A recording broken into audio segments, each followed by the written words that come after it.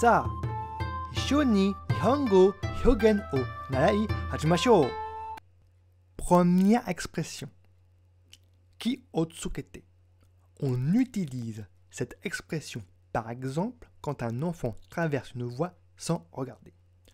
On lui dira fais attention en français et ki otsukete en japonais.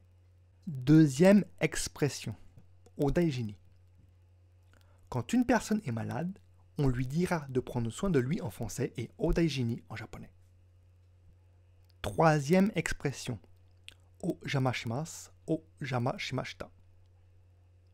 Au Japon, quand on rentre dans la maison autre que la sienne, on dira o jamashimasu en entrant et o jamashimashita en sortant. Il y a aussi shitsure shimasu et shitsure shimashita qui ont un sens proche de o jamasuru qui diffère par la notion de rudesse. On l'utilise plus fréquemment quand on parle de son travail avant les autres employés, soit Osakeni shitsureshimasu. Quatrième expression. Ittekamas, ittashai.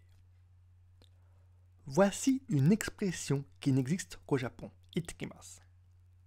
Les Japonais la prononcent en sortant de leur maison, ce qu'on peut traduire par je sors en français.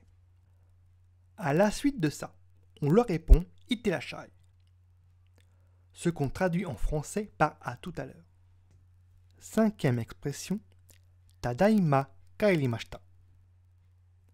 Voici une deuxième expression qui n'existe qu'au Japon, Tadaima, qui est le raccourci de Tadaima kairimashita. Les Japonais la prononcent en rentrant chez eux, soit en français je suis rentré. À la suite de ça, on leur répond Okainasai ce qu'on traduit en français par bienvenue.